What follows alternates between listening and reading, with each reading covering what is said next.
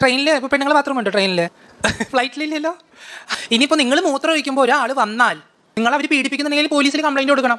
മഹാരാജാസിൽ പത്തോളം trans women's പഠിക്കുന്നുണ്ട്. അവർ ladies ഹോസ്റ്റലല്ല അവർ ഒരുമിച്ച് തന്നെയാണ് എടുക്കുന്നത് അവർ ഒരുമിച്ച് തന്നെയാണ് ഹോസ്റ്റൽ യൂസ് ചെയ്യുന്നത്.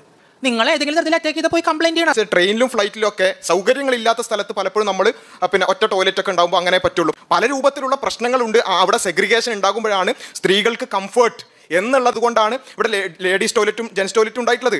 ഹോസ്റ്റലുകളിലും മെയിലും ഫീമെയിലും വേറെ അല്ലേ പൂർണമായും ബയോളജിക്കൽ മെയിലായ ഞാൻ. ഇവിടെ വന്നിട്ട് പറയുകയാണ് ഞാനിതാ പെണ്ണാകുന്നു എന്ന് പറഞ്ഞാൽ ജെൻഡർ പൊളിറ്റിക്സ് പ്രകാരം ഞാൻ പെണ്ണായിട്ട് കണക്കാക്കണം. നാളെ മുതൽ എനിക്ക് ലേഡീസ് ഹോസ്റ്റലിൽ കയറാൻ അനുവാദവും തരണം. അവിടെ ഞാൻ തെറ്റാണ് പറയുന്നെങ്കിലും ഞാൻ കളവാണ് പറയുന്നെങ്കിലും അതെങ്ങനെ മനസ്സിലാക്കാം? അവിടേക്ക് കയറാനുള്ള ഒരു സാഹചര്യം ഒരുക്കിയിട്ട് പറയാണ് നിങ്ങൾ കംപ്ലൈന്റ് കൊടുത്താൽ പോരെ. നമ്മൾ തെറ്റുകൾ അല്ലെങ്കിൽ ഈ പറഞ്ഞ ക്രൈമുകൾ ഇല്ലാതാക്കാനുള്ള സാഹചര്യമല്ലേ നമ്മൾ ആദ്യം ഉണ്ടാക്കേണ്ടത്. എല്ലാ പ്രശ്നവും സംഭവിച്ചതിന് ശേഷം കംപ്ലൈന്റ് കൊടുത്താൽ പോരെ എന്നാൽ പോയി കേസ് കൊടുന്ന് പറയുന്നതിൽ വല്ല അർത്ഥമുണ്ടോ?